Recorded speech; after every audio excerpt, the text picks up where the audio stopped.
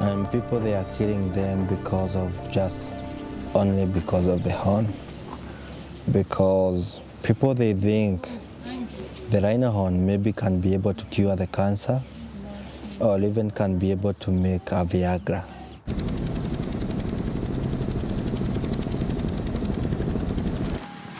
뿔은 각질이라 자르면 다시 자라납니다.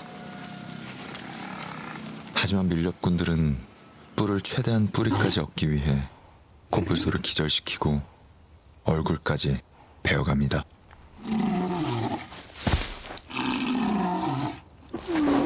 uh, greed for money, greed for power, and corruption has led to the extinction of our species. So it, it will reflect very bad on us as human beings. 저 뿔이 약재 시장에서 항암제나 정력제로 인기래요.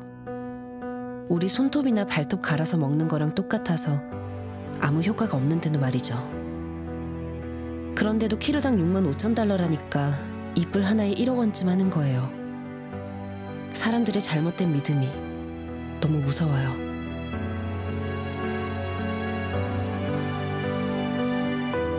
(2015년) 한 해에만 밀렵꾼에게 살해당한 코뿔소는 (1338마리입니다) 예전에는 이런 동물들을 피해서 사람이 살았다면 지금은 오히려 동물들이 살기 위해서 인간을 피해야만 하는 약간 상황이 뒤바뀌었잖아요.